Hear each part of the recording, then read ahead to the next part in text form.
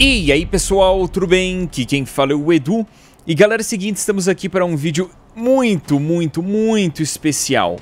Galera, eu tive a oportunidade de jogar o Sekiro Shadows Die Twice no escritório da From Software em Tóquio, no Japão, numa viagem que foi bancada pela Activision Brasil, a quem eu agradeço. Pessoal da Activision sabe que eu amo muito os games da From Software venho jogando inclusive desde o Demon Souls. Eu peguei a fase antes do Dark Souls, tá? Eu lembro de estar inclusive no hype para o lançamento do primeiro Dark Souls. E de repente me aparece a oportunidade de conhecer um pouquinho do Japão e de jogar um game da From Software direto na fonte, direto no escritório deles. Foi, sinceramente, muito emocionante. Um, enfim, valeu Activision Brasil pelo convite, é, foi incrível, espero que oportunidades assim apareçam novamente. Mas galera, vamos lá, estamos aqui para falar de Sekiro Shadows Die Twice, um game que eu joguei na versão de PC e que vai sair também para PlayStation 4 e Xbox One. O gameplay que vocês estão conferindo sou eu jogando, eu mesmo capturei, e pelo que eu vi, a versão de PC que eu tava jogando tava rodando com as configurações no alto, beleza? O jogo tá muito bonito. Eu acho que inclusive ele tá um passo à frente do que a From Software tinha feito já no passado. O game mais recente deles, o Dark Souls 3, é um jogo graficamente é, competente, bonito, mas não considero espetacular. E em paralelo a gente pode analisar aqui o Sekiro e ver como ele tá muito lindo. Em especial, eu achei que o design dos personagens melhorou bastante em relação ao Dark Souls 3, tá? O, o jogo, cara, é aquilo que a gente imagina de From Software no, na questão de Soulsborne. Um jogo muito difícil, muito desafiador, mas que ao mesmo tempo nos proporciona uma sensação de satisfação é, sem igual porque conseguir finalmente derrotar um inimigo muito difícil, ou finalmente conseguir passar de uma região difícil no jogo, é, nos traz uma sensação de recompensa, uma sensação de objetivo cumprido, e enfim, isso se mantém muito aqui no Sekiro.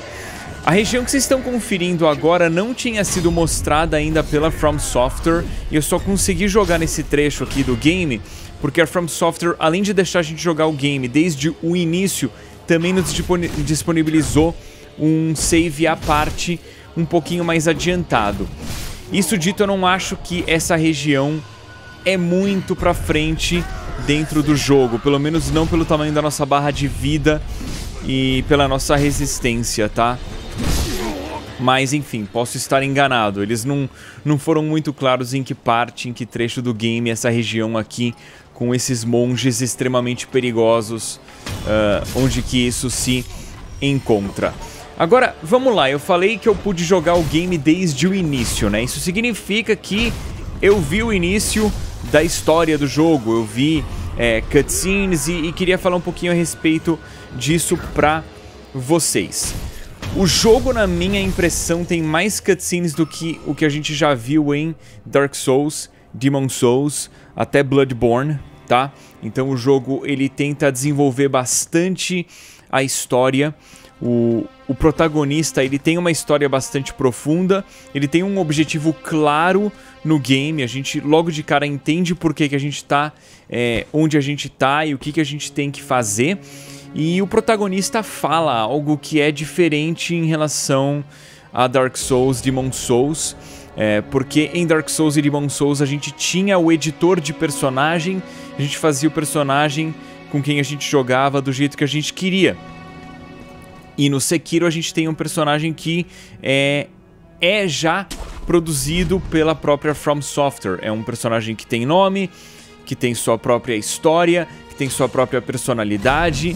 Um, então, é um personagem mais desenvolvido que sim tem opções de diálogo, mas pela personalidade dele a gente é, vai ver que ele não fala tanto assim. Um, na história a gente tem um grande objetivo, como eu já disse para vocês, e inclusive a gente tem o contexto para a gente não ter o nosso braço esquerdo, para no lugar do braço esquerdo a gente ter uma prótese que tenha inclusive uma implicação grande no gameplay, porque é através da prótese que a gente consegue equipar equipamentos secundários. 置いていかれてしもうた皆小太郎を置いてどこへ行ったんじゃおらどうすればいいんじゃろう Esse trecho que vocês acabaram de assistir eu deixei de propósito.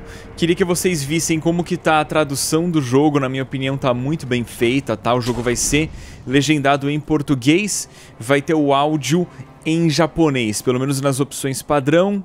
Talvez haja a opção de é, ouvir o game em inglês, mas enfim, os textos e as legendas estão em português. E vale notar então que no diálogo que eu mostrei para vocês a gente tinha é, múltiplas opções do que fazer, né? A gente tinha mais de uma opção em como responder o personagem que a gente encontrou. Agora, eu não quis deixar muito do diálogo rolando para não dar é, grandes spoilers para ninguém. Afinal, aquele personagem nos pedia algo que talvez seja relevante para a história do jogo.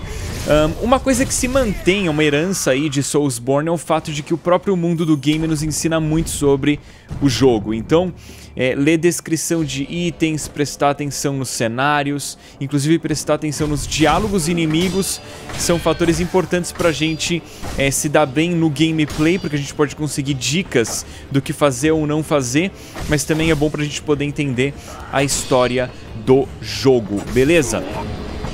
Em relação ao gameplay, como vocês estão vendo, o jogo é brutal e eu já mencionei, é um jogo muito difícil. Até os inimigos mais simples podem ser perigosos o suficiente para nos matar.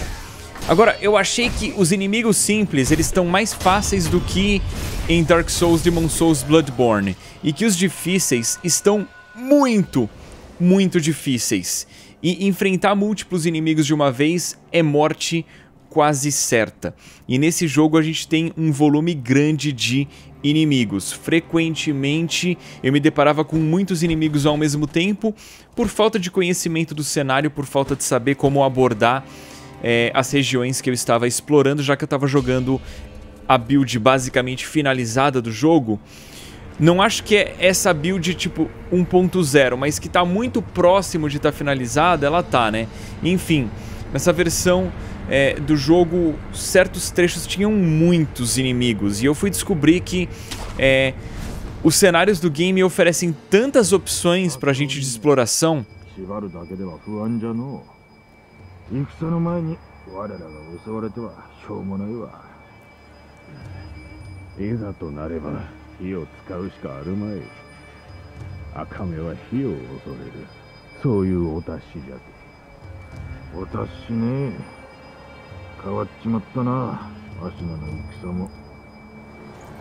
Desculpem ó, a interrupção, é que eu queria que vocês vissem que dá pra gente bisbilhotar o diálogo inimigo.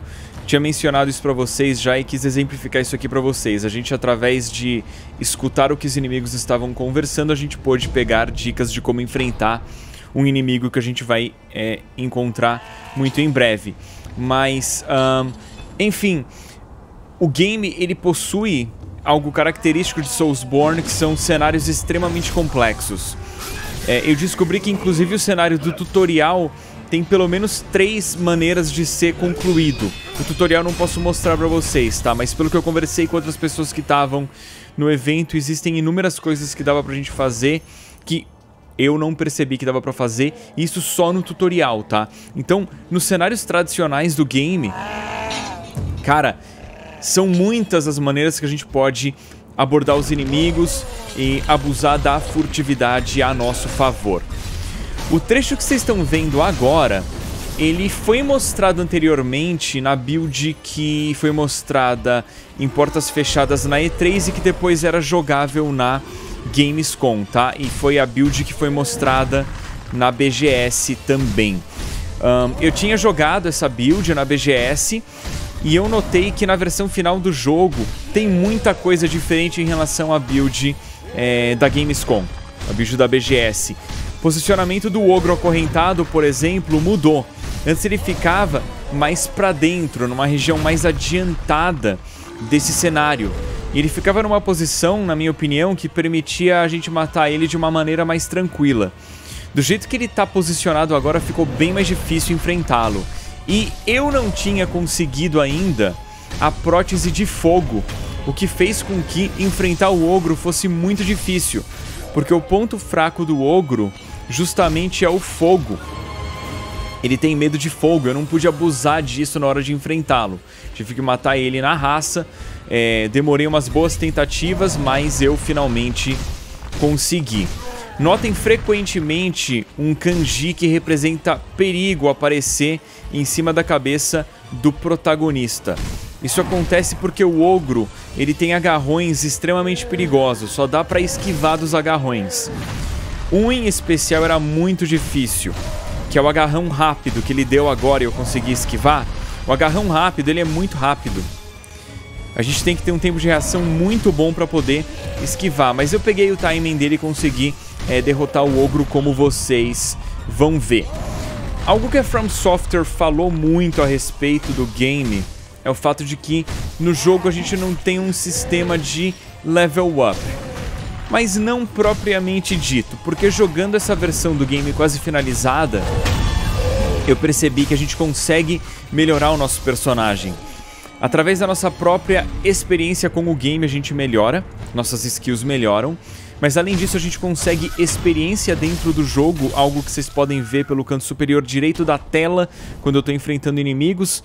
Um, a experiência no game faz com que a gente possa melhorar nossas habilidades. E a gente tem habilidades ativas e passivas. Dá também pra gente melhorar o nosso item de cura no estilo o Pauistas Flask em Dark Souls e dá pra gente aumentar a quantidade de vida que a gente tem e também a nossa postura. E a postura é uma mecânica de gameplay muito importante, porque nesse jogo a gente não tem mais a estamina. A gente pode atacar os inimigos o quanto a gente quiser, a gente pode esquivar, pular, o quanto a gente quiser. Só que uma vez que a gente perde postura, a nossa guarda se abre. E uma vez que a gente consegue quebrar a postura do adversário, a guarda do adversário se abre. Uma coisa que vocês vão ver é que o game tem alguns animais e alguns insetos, mas eles morrem num hit só. Me chamou a atenção isso, porque normalmente a gente tinha que causar bastante dano em, em certos animais em Dark Souls e agora a gente mata os inimigos como vocês viram agora, num hit só. Eu não sei se esse inimigo aqui é, é uma referência aos Crystal Lizards, mas tivemos esses lagartos aqui um, para enfrentar no Sekiro. Um, em relação ao level design, galera, ele continua bastante complexo, eu já mencionei isso. Mas agora, como a gente tem movimentação vertical, a gente tem como personagem não só o gancho, mas também é, o elemento de pulo, os cenários têm muita verticalidade. Então, um, não só a gente tem que decorar o layout do cenário a, a, maneira como ele se espalha pela tela, mas a gente tem que também entender para onde a gente pode ir em termos verticais, o quanto que a gente pode subir ou descer. E também isso implica em a gente achar atalhos e caminhos alternativos quase que secretos. Os cenários eles estão tão complexos que, por exemplo, eu quase perdi o cenário que vocês estão vendo agora no game porque eu não encontrei uma NPC que estava escondida e essa NPC me permitiu acessar o cenário que vocês estão vendo agora. Então eu imagino que o game vai ter bastante coisa escondida. Talvez seja possível ser, zerar o game sem encontrar todos os cenários. Uh, o jogo tem um hub estilo Dark Souls, tá? Uh, por exemplo, estilo Majula, vamos dizer assim, ou Firelink Shrine. Não é um hub tipo o Nexus do Demon Souls, tá? Os cenários são bem interconectados. Ali, nesse diálogo aqui, eu quis dar um teaserzinho só pra vocês. Um, a história do jogo está complexa. Mas enfim, eu tava falando do hub. No hub do game a gente consegue fazer algumas melhorias de personagem, alguns treinamentos. Um, tá interessante. Agora, em relação aos cenários, uma coisa muito interessante é o fato de que, segundo a From Software, eventualmente o game abre muitas possibilidades de exploração e o game fica totalmente, vamos dizer, não linear. Mas a questão é a seguinte, cara, eu joguei o game do início e logo de início o jogo é bem aberto. Então eu tô bem curioso para ver o quão absurdamente vai ser a, a, segunda metade do game, dado o fato de que ele se abre muito segundo a From Software.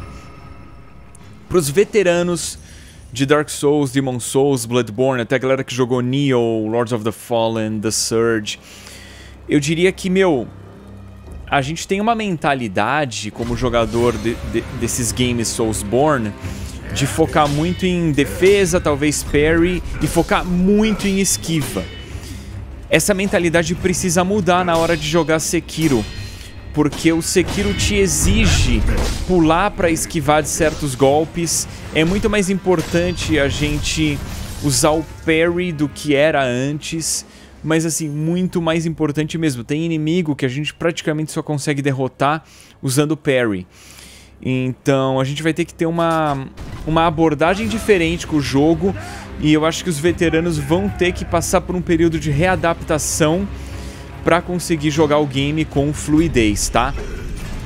E a gente tem uma quebra de paradigmas aqui também. O personagem, por exemplo, nada. O protagonista sabe nadar.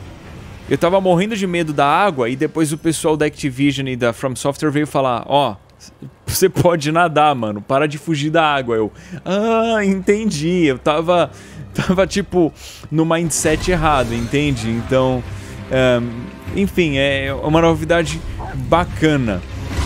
Nesse cenário que vocês estão vendo, vocês vão ver que o game ele tem é, a questão de inimigos com poder de fogo, literalmente, né, de fogo, e eles vão atear fogo na gente. O game tem também envenenamento e algumas outras mudanças negativas de status.